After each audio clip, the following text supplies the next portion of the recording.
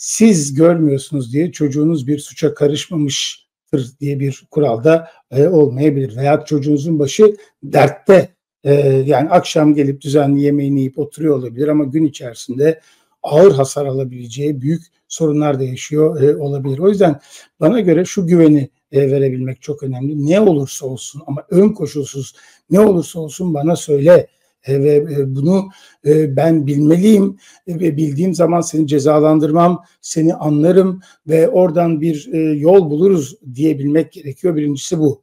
E, bu net. İkincisi e, şunu hiçbir zaman unutmayın. Hepimiz aynı dönemleri yaşadık. Cinsellik, hormonlar vesaire bunlar elbette ki bizim aklımızı, bedenimizi e, çok büyük etkileyecek. Bu kaçınılmaz. O etkilediği dönemde herkes bununla başa çıkma konusunda e, aynı e, durumda olmayabilir. Bu itki karşısında zaaf göstermenin dışında şiddete doğru e, gidilebilir. Dolayısıyla bu meseleye dair de psikiyatrlardan, pedagoglardan bu sürecin nasıl yönetilmesi gerektiğine dair siz de fikir alın. Ancak bundan dolayı başınıza bir iş geldiğinde ki gelebilir. Örneğin kimseye temenni etmem ama diyelim ki küçük yaşta çocuğunuz bilmediğiniz birinden hamile kaldı. Eğer size gelip söylemekten korkarsa gidip e, yaşı da küçük olduğu için doğru dürüst bir doktor bulamayıp illegal bir yere gidip bir de sonucunda e, işte ben çocuğu aldıracağım, kurtulacağım falan derken e, canından bile olabilir. Dolayısıyla her koşulda üzülseniz de canınız yansa da başınıza ne gelirse gelsin çocuğunuzun sıkıntısını bilmek esastır. Esastır. Hani demin dedi ya Feyza HPV aşısı olan orospu diyorlar. Ulan orospu desinler kanser olmasındansa orospu desinler yani. HPV aşısının kadının da erkeğin de genç yaşta olması gerektiği artık bilimsel bir gerçek ve devletin bunu ücretsiz yapması için çok mücadele verildi. Halen tam netice alınamadı ama önemli bir yere e, gelindi. Bu aşı yapılmalı. Çiçek aşısı gibi vesaire. Bir de tabii e, baskı toplumları e, bu baskı e, toplumları ayrı şey, e, ayrı problemleri de e, doğuruyor. Bu arada Ali söyledi HPV e, tuvaletten de yani sizin hiçbir şey yapmanıza gerek yok. Cinsel ilişkiye de girmemiş olabilirsiniz. Umumi tuvaletlerden de HPV e, alınabiliyor. Yani şunu söylemek istiyorum. Maalesef Türkiye e, bilimsel bir akılla şu anda yönetilmiyor. Dolayısıyla e, bu liberal ekonominin hep daha çok, hep daha fazla duygusu aşırı milliyetçilikle, aşırı dincilikle vesaireyle bunlarla da besleniyor bir taraftan. Ha bu arada az önce Çağla gösterdi, Çağla'nın tweetini gördük. Onu da gösterelim. Yani e, o gerçekliği de ortaya koyalım. Birilerini koruyacak halimiz yok. E, yapılan e, dünyadaki veriler. Ali getirir misin Çağla'nın şeyini e, attığı tweet'i biraz büyüt lütfen.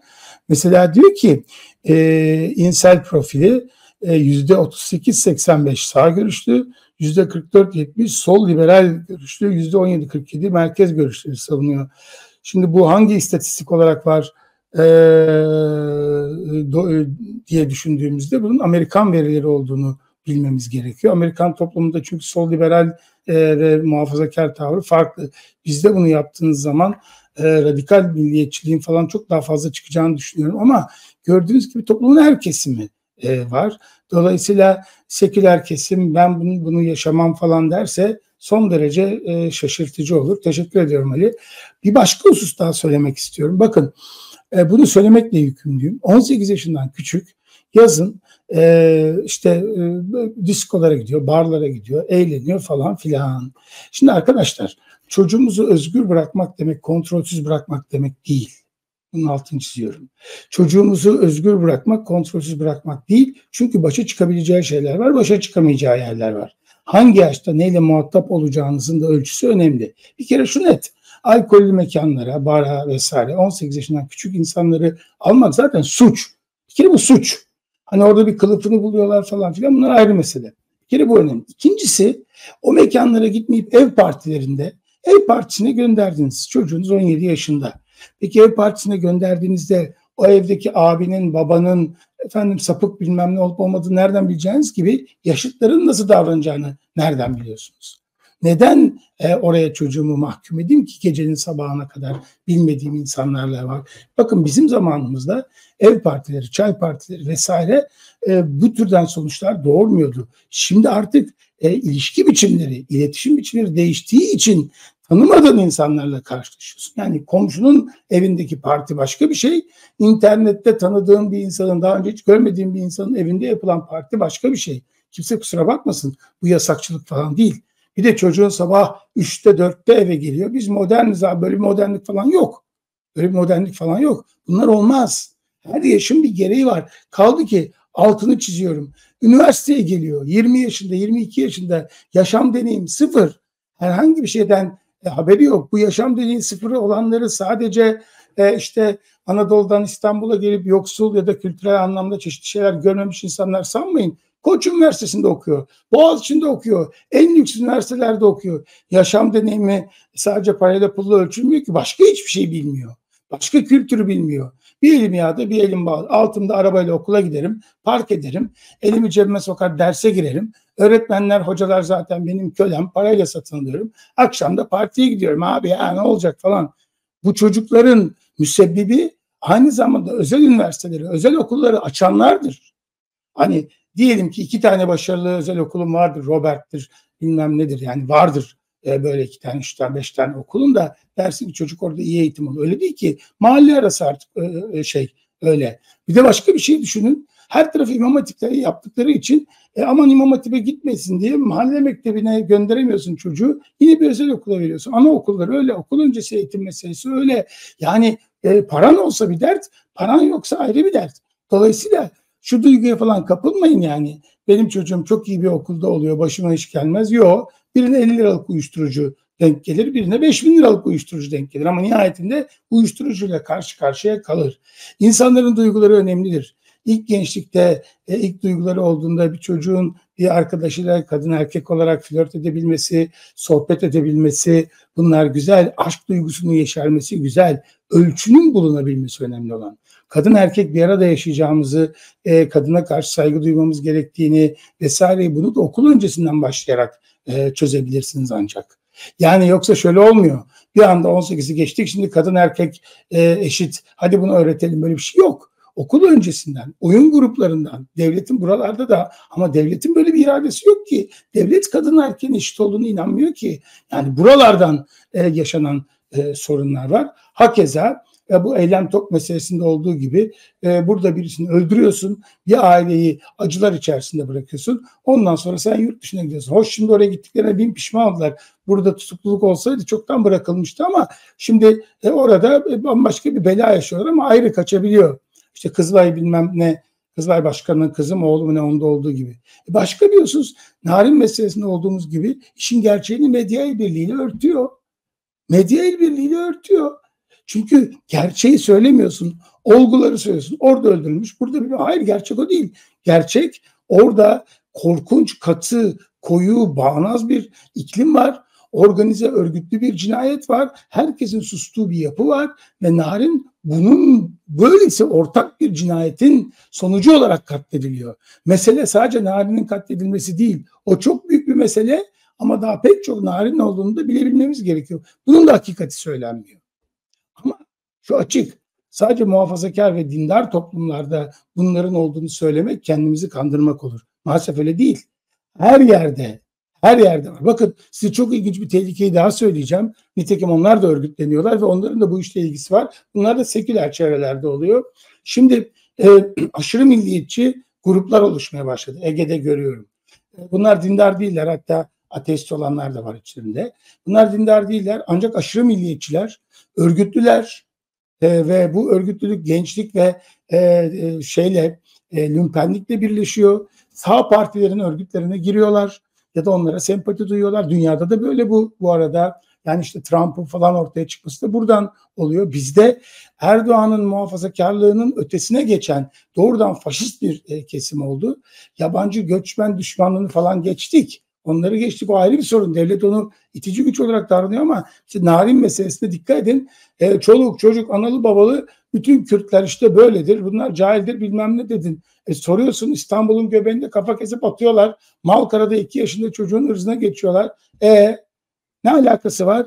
Yani her şey iç içe. Türkiye'de yaratılmış tuhaf dindarlık, Türkiye'deki ırkçılığın artması, dünyadaki faşizm o hale gelmiş oluyor. Tabii Türkiye'de daha da ağır. Bunların olması Öte taraftan zengin duyarsızlığı, zengin lümperliği, internetin kontrolsüzlüğü, cezasızlık sorunu ve e, çocuklarına hakim olamayan aileler. Çok açık söylüyorum. Çocuğunuza hakim olmak ne demek? Baskı, zorbalık değil. Tam da tersine şeffaf olmak, iletişim yollarının açık olabilmesi. Bakın ben size çok net bir şey söyleyeyim. Buradan da çağrı yapayım. Eğer gerçekten nitelikli e, birer tiyatrosu olsa her ilçenin, her şehrin daha çocuk oyunlarında çocuğun ilgi alanına da hakim olabilecek meselede didaktik olmadan kadın erkek eşitliğini, akran zorbalığını vesaireyi anlatacak e, oyunlarla anaokulundan itibaren çocuklara hem sanat eğitimi hem felsefe eğitimi hem insan hakları eğitimi kolaylıkla verilebilir. Öğretmenlerin de içinde olduğu, sanatçıların da içinde olduğu, psikologların, pedagogların da içinde olduğu bu yapılar kurulabilir.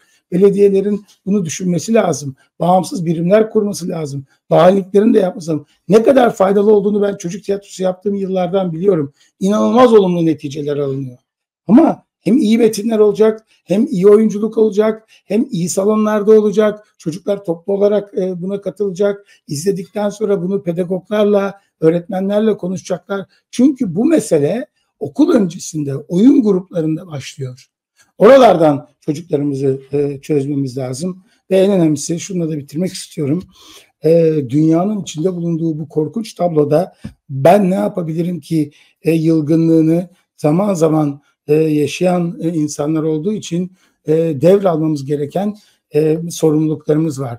Yani Feyza bu iş için bu kadar gırtlak patlatırken e, yorulduğu artık e, gerçekten çok zor durumda olduğu anda Rusya olarak ben de aynı şeyi hissediyorum. Bir başkası bu görevi alıp bir başka insan götürmeli. Sonra yeniden bana vermeli. Yani toplumda birkaç insanın sırtında olmamalı bunlar. Bunun da altını çizmek istiyorum. Son bir şey de cumartesi günü gelen avukat olduğunu söyleyen e, hanımefendiye ondan hareketle kim olduğu önemli değil. Ekranda ekranda şuna çok dikkat etmeniz lazım. Bakın bilgilendirmek, hakikati ortaya koymak, insanları uyarmak, gazetecilik görevini yerine getirmek ayrı bir şey. Bir takım görüntüler üzerinde bir takım böyle müzikler çalıp uzun uzun e, acının pornosunu yapıp insanların gazını almak ayrı bir şey. Bizim toplumun gazını almak değil, toplumu irkiltmeye ihtiyacımız var. Evet belli oranda ürkütmeye de ihtiyacımız var. Çünkü burnumuzun dibinde. Yan komşunuzun evinde ne oluyor biliyor musunuz? Bilmiyorsunuz. Mesela bana göre bana göre iki şeyde hassas olunmak lazım. O kadıncağız o gün dedik artık çocuk bile sevemiyoruz dedi. Sevmeyeceksiniz dedi. Siz 65-70 yaşına gelmişsiniz. Ee, ben artık anneanne dede e, oldum vesaire diyorsunuz. E, ne olur ki çocuk sevsem ben de mi sevemeyeceğim diyor. Sevmeyeceksiniz. Anne babası oradayken izin alarak seveceksiniz. Net. Net burada yapacak bir şey yok. Sevmeyeceksiniz. Öyle bir dönemdeyiz. Ya da ben açık söyleyeyim. Kimseyi arkadaş evine göndermeyeceksiniz. Göndermeyeceksiniz. Dışarıda görünebilir olan yerde. Çünkü bilmiyoruz. Şunu kastetmiyorum. Her ev tehlikelidir anlamında söylemiyorum. Ama sosyal medyadan tanışmış, kim olduğu belirsiz insanlar bir araya gel, kapıyı çalıp 20-22 yaşında birisi, 15-16 yaşındaki ergenlerin olduğu yerde kapıyı çalıp içeri girse, onlara saldırsa, bunu ürkütmek için söylemiyorum. Bunlar oldu. Nereden bileceksiniz? Çocuğunuz o sırada size haber de veremez. Partileri bitecek. Yapacak bir şey yok. Yapılmayacak. Yapılmayacak. Çocuk 18 yaşından önce bunu yapmayacağı gibi 18 yaşından sonra da yaşama hazır mı değil mi diye bakacaksınız. Bunlar haklı ve meşru önlemler bence. Haklı ve meşru önlemler bence. Çocuğunuz e, gece yazlık yerdeyiz aman bir şey olmaz sabah 3'te 5'te eve gelmeyecek. Gelmeyecek. Yetişkin olacak. Yetişkin olduğu zaman durum farklı. Kendi sorumluluğunu taşıması farklı.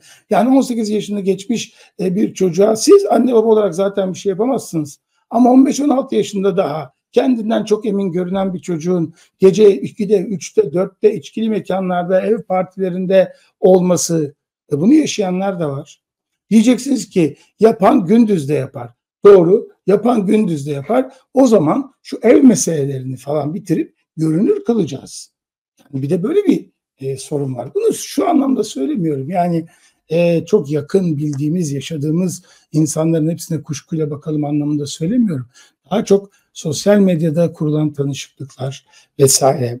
Yani geçen gün e, bir arkadaşımızla e, tartışmıştık. Kızı var. Kızı bir kursa gidiyor, bir tiyatro kursuna gidiyor. O kursta kendinden bir yaş büyük e, arkadaşlarla dışarı çıkıyor. Dışarı çıkmaya başlıyor. Ben dedim ki tanıyor musun? Bilmiyorsun ki.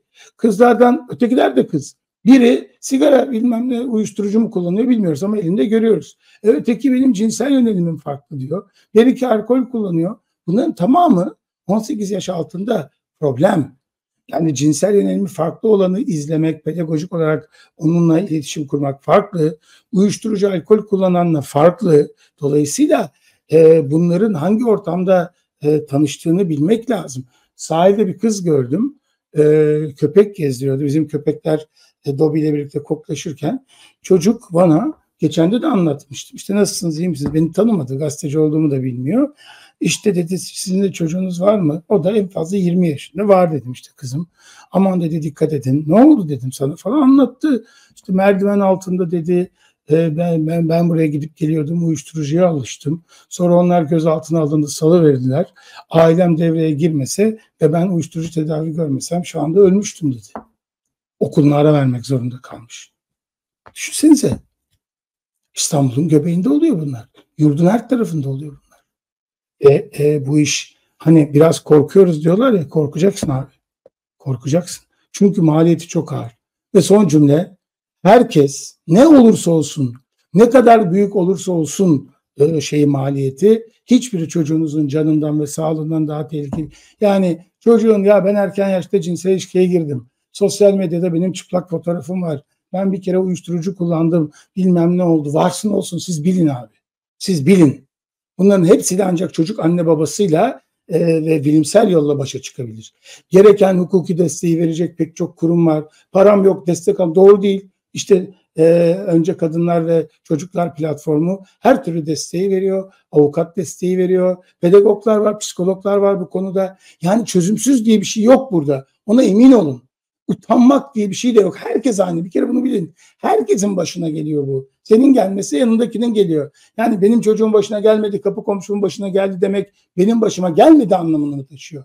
Sizin binanızda, sizin şehrinizde, sizin memleketinizde bu oluyorsa size, size de oluyor demektir.